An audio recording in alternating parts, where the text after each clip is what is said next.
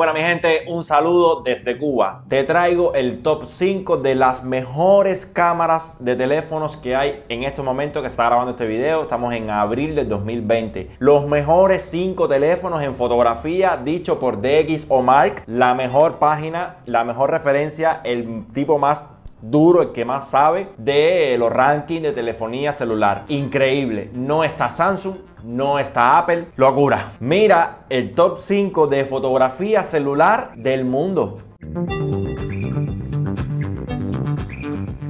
Bueno, en la posición número 5 tenemos al espectacular teléfono de Huawei, el Mate 30 Pro. Un teléfono que en Cuba está perdido, desaparecido. Ese teléfono en Cuba no lo hay. Si acaso Habrán 10 Mate 30 Pro en Cuba, un telefonazo. Está tan perdido y está tan demandado que yo he visto anuncios en Bache Cubano, he visto anuncios en Rebolico de gente que lo cambian por un 11 Pro Max pelo a pelo sin dar vuelto ni nada. Para que tengas una idea de lo excelente terminal que es. Olvídense que no tenga las aplicaciones de Google ni nada de eso. Es un excelente terminal. Y tiene el número 5 a nivel mundial en fotografía celular. El Huawei Mate 30 Pro es un dispositivo que posee una instalación de cuatro cámaras, tiene una primaria de 40 megapíxeles con una focal de 1.6 y una cámara de 40 megapíxeles ultra wide con una focal de 1.8. Tiene una telefoto de 8 megapíxeles y tiene un sensor TOF 3D que le permite hacer fotos espectaculares. Yo es que adoro el Mate 30 Pro. Incluso lo tuviera antes que el P40 Pro. Lo que pasa es que no lo hay en Cuba y con el miedo que hay ahora mismo de que no trae las aplicaciones básicas de Google, los servicios de Google, la base principal de todos los teléfonos de Android. Por supuesto que los proveedores a la hora de traerlo a Cuba le cogen un poquitico de miedo a eso. A mí me la suda, eso, eso se le pone. no se preocupen por eso. Todos los teléfonos de Huawei que vengan, se les ponen los servicios de Google. Tenemos en el cuarto lugar al Xiaomi Mi 10 Pro. El Xiaomi Mi 10 Pro en cuarto lugar. Que es verdad que tiene un precio exorbitante. Que es verdad que salieron con un precio de salida de mil dólares. Después más o menos aplacaron la cosa porque dijeron, no, si lo compras ahora te doy unos audífonos inalámbricos valorados en ciento y pico y te doy un bono de no sé qué cosa y un cargador inalámbrico. Inflaron un poquitico ahí para que se lo compres con premios. Van a bajar de precio. Esa gente van a tener que poner eso en 800 porque Xiaomi nos tenía acostumbrada a dar terminales, inclusive de gama alta, a muy buenos precios y te me apareces ahora con un móvil de mil dólares que no. Pero bueno, como quiera que sea, está en cuarto lugar un Xiaomi. En cuarto lugar en fotografía a nivel mundial.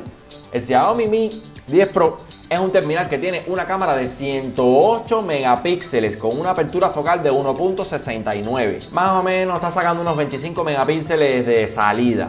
Tiene una telefoto de 12 megapíxeles con una focal de 2.0, una un gran angular de 8 megapíxeles con un focal 2.0 y un ultra gran angular de 20 megapíxeles con un focal 2.2.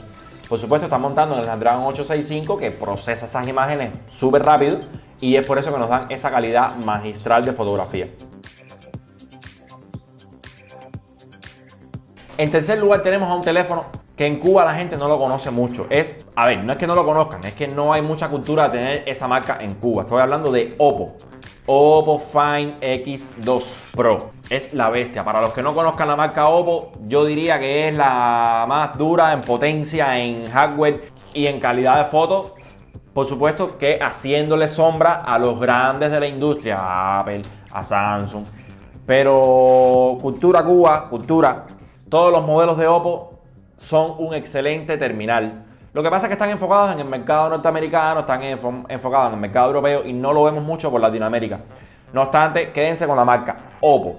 El Oppo Find X2 Pro está montando una triple cámara, está montando una triple cámara con una primaria de 48 megapíxeles, apertura 1.7, una ultra wide de 48 megapíxeles con, una un focal 2.2 y una telefoto de 13 megapíxeles con una apertura F, eh, f3.0. Ojo, este teléfono graba en 4K a 60 fps con HDR sin ningún problema. Tenemos en segundo lugar, increíble, a ver, en segundo lugar un teléfono Honor, nada más y nada menos que el Honor 30 Pro Plus. Yo nunca me imaginé ver a un teléfono de la marca Honor en un ranking top 5 de fotografía celular. Bueno, sí, increíble. Segundo lugar, Honor 30 Pro Plus. Decirlo, me traba la lengua, pero es que a saber el precio. ¿Cuánto está más o menos el precio? Hay que buscar el precio del Honor 30 Pro Plus. La cantidad de R que tiene eso, que no es fácil. Pero bueno, básicamente es un teléfono muy bonito, realmente. Y nada, configuración triple cámara. Tenemos una primaria de 50 megapíxeles con una apertura de 1.9. Tenemos una ultra wide de 16 megapíxeles con una apertura 2.2 y tenemos una telefoto de 8 megapíxeles con una apertura 3.4. No es muy buena la telefoto, pero en completo tienen un ranking de XOMAR de 125 puntos. Magistral. Por supuesto, en primer lugar, el que lógicamente lo iba a hacer no es ni Samsung ni iPhone. Es el teléfono que viene rompiendo en fotografía cada vez que sale, marca un nuevo hito en fotografía. Sí, señores. Huawei P40 Pro, la bestia fotográfica de abril del 2020 y esperemos a ver qué pasa con el Note 20 Plus con el iPhone 12 Pro Max. Pero ahora mismo, en el momento en que se está grabando este video, el mejor teléfono del mundo en fotografía, Huawei P40 Pro, el que vale 1.300 dólares por ahora. Por supuesto va a bajar de precio. El Huawei P40 Pro tiene un encapsulado de hasta 5 cámaras, incluyendo un sensor TOF. La primaria de 50 megapíxeles tiene una apertura de 1.9, la ultra wide de 40 megapíxeles tiene una apertura de 1.8, la telefoto tiene una 3.4 y, la, y el TOF 3D, el sensor TOF 3D, nos aguanta hasta 78 grados. Por supuesto, graba video a 4K, 60 FPS, nos sorprende con 128 puntos en DX o 128 puntos. Eso no lo alcanza a nadie, a ver. Por supuesto, nunca van a tener la calidad fotográfica de una cámara profesional, ni de una Canon, ni de una Nikon, ni una Sony Alpha. Pero eh, ojo, ojo, lo que nos están poniendo en las manos son cámaras increíbles y majestuosas. Así que nada, caballero, cada vez que les pregunten, no, ¿cuál es el teléfono? ¿Cuál es el mejor teléfono en fotografía en estos momentos? Sí, se lo puedes decir. Dice Bache Cubano que es el Huawei P40 Pro, sin susto, se lo dice. Quédense con, esta, con este ranking de 5 teléfonos right now que tienen la mejor calidad fotográfica y esperamos al mes que viene a ver qué dice de Xomar con el nuevo ranking. Recuerden que les voy a empezar a dejar saludos aquí abajo. No se olviden de compartir este video en sus redes sociales, WhatsApp, Telegram, la madre de los tomates, mm, pásenselo a su abuelita por Messenger, pásenselo a su primo que no le hablas por WhatsApp, en fin. Y nada, caballeros, paz y amor, nos vemos en el próximo video. Chao, chao. Acabas de ver este video y no te has suscrito todavía al canal. ¿Qué tú esperas, mijo? Que la editora se pone brava. Suscríbete, deja un comentario, deja un like, compártelo. No, hay que ver después esa mujer dando el berro, porque si la gente no se suscribe, que la gente no se suscribe, suscríbete al canal, mijo. ¿Qué te cuesta? Mira el botoncito de abajo, dale, dale, dale, dale, dale, dale, dale. Sí, dale, dale, sí, dale.